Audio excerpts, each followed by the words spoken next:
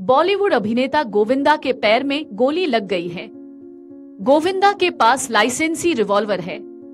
खबरों की माने तो घटना सुबह करीब पाँच बजे की है।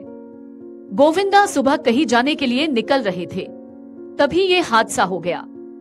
कहा जा रहा है कि वह अपनी रिवॉल्वर साफ़ कर रहे थे। तभी मिस फायर हो गया। अब एक्टर को अस्पताल में भर्ती कराया गया है।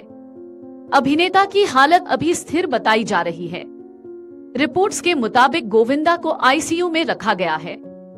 आपको बता दें कि बॉलीवुड एक्टर और शिवसेना लीडर गोविंदा को लेकर बड़ी खबर सामने आ रही है।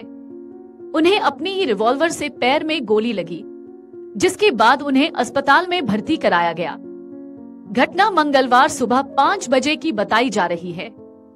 पुलिस अब इस मामले की जाँच में जुट गई है।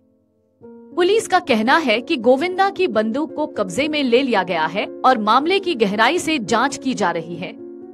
फ़िलहाल गोविंदा के पैर से काफ़ी खून बह गया है, जिससे उनकी हालत खराब बताई जा रही है।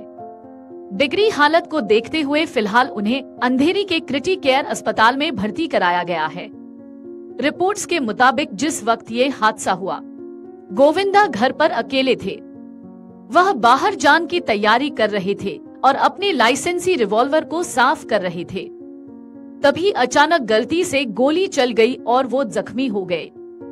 बताया जा रहा है कि गोविंदा ने पास में ही रह रहे अपने रिश्तेदारों को कॉल किया और उन्होंने मौके पर पहुंचकर उन्हें अस्पताल पहुँचाया। अगर आप ये वीडियो YouTube पर देख रहे हैं तो हमारे चैनल को सब्सक्राइब करें और बेल आइकन को दबाना न भूलें। अगर आप Facebook पर यह वीडियो देख रहे हैं तो हमारे पेज को लाइक करें।